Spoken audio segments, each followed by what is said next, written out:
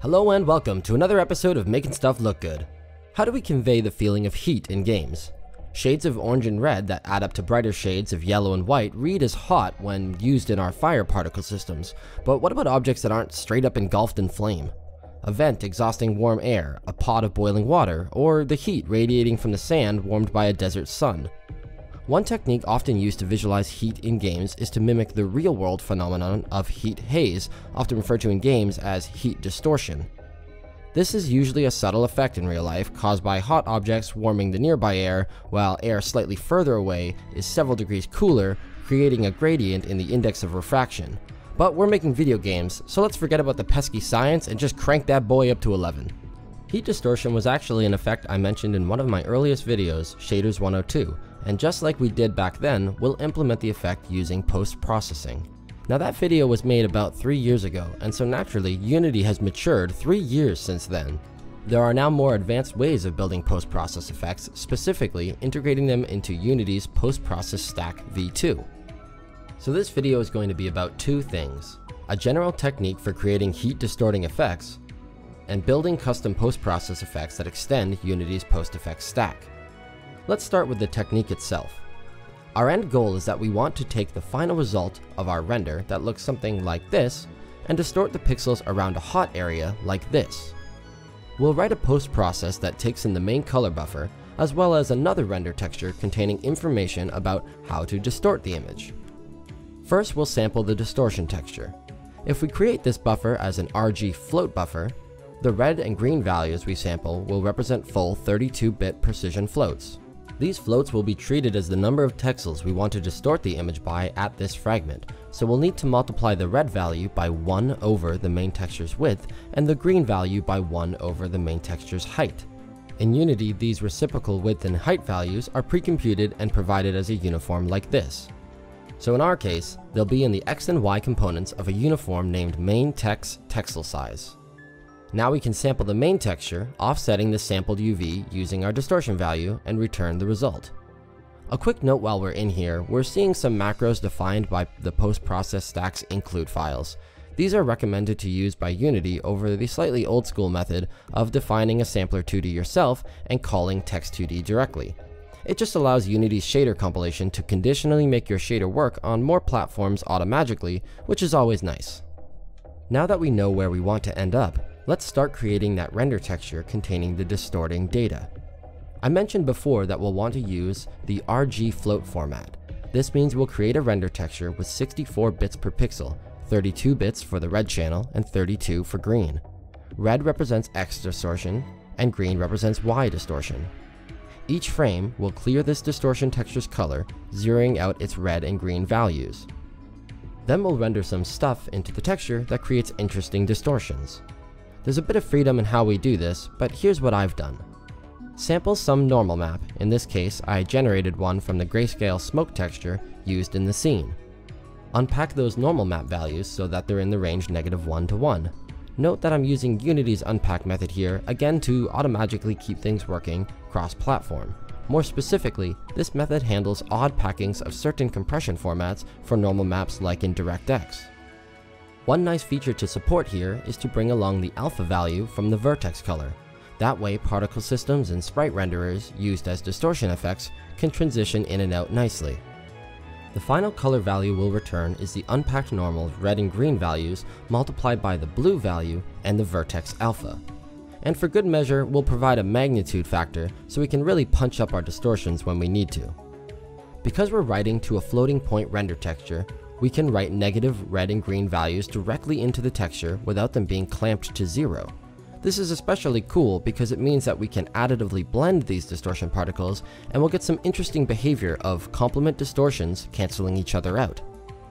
So to reiterate, our strategy for creating a buffer containing distortions will be to create an RG float render texture, set it as the render target, then render our distortion particles from the same perspective as the rendering camera into our distortion texture. Excuse this interruption, but won't this strategy have an issue due to the lack of Z-culling? Distorting particles which should be occluded by objects in the scene will be drawn into the distortion texture despite the aforementioned occlusion. You're absolutely correct, vaguely British Unity developer. If we hooked everything up now, we would see odd behavior when a distorting particle is occluded. Because we're using this separate render texture, we don't have a depth buffer bound, which will discard fragments based on their depth. We've got a couple of options here. We could make some sort of Frankenstein render texture where we bind the color buffer of our RG float texture and the depth buffer of our scene render, then rendering our distorting effects. Or we could use the main scene's depth information as a depth texture and make it available to our distortion particle shader. Then we could manually perform Z-culling in the fragment shader and possibly do a technique like soft particles if we wanted to. In this video, we'll opt for the second technique because it will let us do something else cool later on. The vertex shader will now need to pass along the vertex depth and projective texture coordinates to sample the scene depth texture. In the fragment shader, We'll sample the depth texture using the projection corrected texture coordinate and use Unity's decode eye depth macro to remap the sampled value into the camera's depth range, the same range we just encoded the particle's z value into in the vertex shader. Now we can create a culling value by comparing those two values. When the scene is closer to the eye, the value will be 0, otherwise it will be 1. We can multiply our final result by this cull value, and voila, we've recreated z-culling in our fragment shader. If you're suspicious of this and think we should have tried to use the depth information that was already available to let the GPU handle Z-culling in its preferred way, consider this cool thing we can do now. Our distortion texture doesn't have to be the same size as our scene's color buffer, a requirement we would have to meet to use the depth buffer directly. We're committing to 64 bits per pixel, but that doesn't mean we have to commit to an extra 16 megabyte render texture. We can also get some performance gains on fill rate by drawing our distortion effects at a lower resolution. Even having the width and height of the distortion buffer's render target gives us some pretty nice wins. So that's the technique. Now let's go about integrating it with Unity's post-process stack. In past videos, we've used techniques involving multiple cameras and render textures, making use of the on-render-image camera callback. Things often felt a bit flimsy and introduced weird project-specific scene and camera setups. The post-process stack relies on Unity's command buffer approach to rendering and submitting draw calls instead of stitching together several draw calls and cameras with various scripts. In my experience, if you lean into the use of command buffers, life gets a lot simpler, and we can avoid the complexities involving specific camera, layer, and script setups that might not work for all projects. So here's the high-level approach we'll go for. Objects in the scene which render distortion effects will have a component attached to them, which when enabled registers them with a small manager class. Our custom post-process effect will be passed a command buffer from the post-process stack, which it needs to fill with its rendering logic. It will first add a command to create a temporary buffer, then a command to bind that texture as the active render target, and then another command to clear the active target's color. With our render target ready to be drawn to, we can now fill the command buffer with commands that draw all the registered renderers in our manager. And finally, we can add a command that blits the source to the destination using our post-process shader. Let's dig into the post-process effect code and see how all this comes together. The first thing we'll see in the file is a serializable class that defines the properties of our effect. It's decorated with an attribute defining it as a post-process effect, with an effect renderer, an enum which controls at which point in the stack the effect will render, and finally a path for adding the effect to a post-process volume. The body of the class has a few serializable properties wrapped in some fancy generic parameter classes. Suffice it to say, following this pattern will ensure Unity is able to properly serialize your properties. We'll include a global magnitude we can use to blend the entire effect in or out as we like, as well as our downscale factor and a toggle for debugging our effect. Next, let's look over the effect renderer class itself. This part of the code is most similar to the old school monobehavior that gets attached to the camera, except rather than derive from monobehavior, it derives from a generic typed post-process effect renderer class, which specifies the data the effect is provided from whatever post-process volume the effect is added to. There are a number of virtual methods we can override here to make our effect do stuff.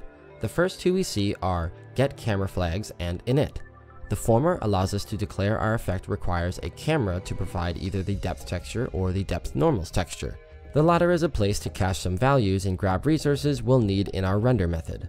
And at last we come to the render method, The new hotness in Unity, which when used in ideal circumstances, removes the need for methods like on pre-render, on pre-cull, on post-render, on render image, and any other monobehavior callbacks we used to use.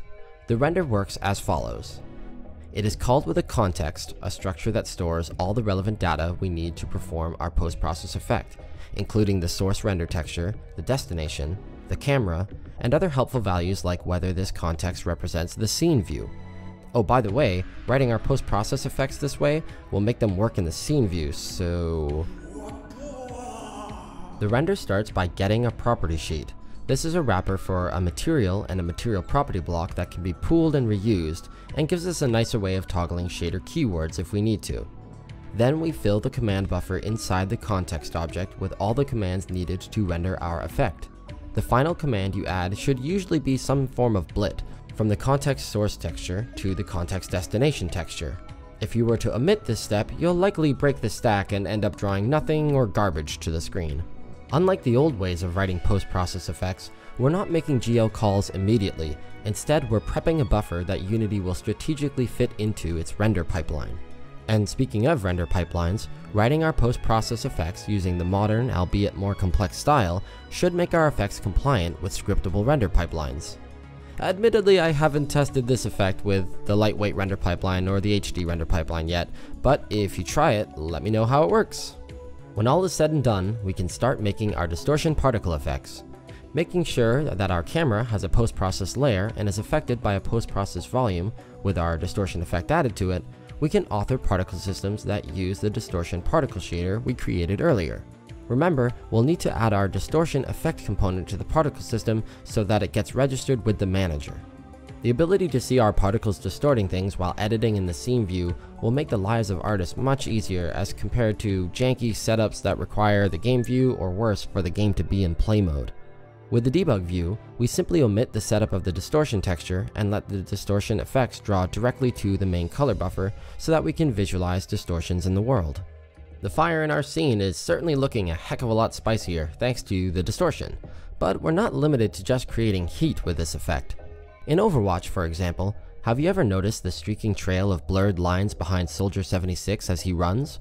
Or the way Widowmaker lets out a glass-shattering sound wave when she's sniping? Both effects could be achieved using a technique like this. Well, that does it for this episode of Making Stuff Look Good. I think I promised a channel update last time I made a video. Let's see, um, six months ago.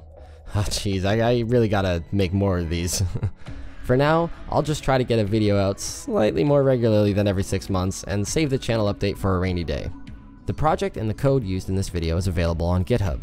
The stylish 3D assets featured in the video are by the legendary Kenney. Links to where you can download them and more great assets are in the description. Thank you to my wonderful patrons for your continued support. You the best. And as always, thank you all for watching, keep on making those video games.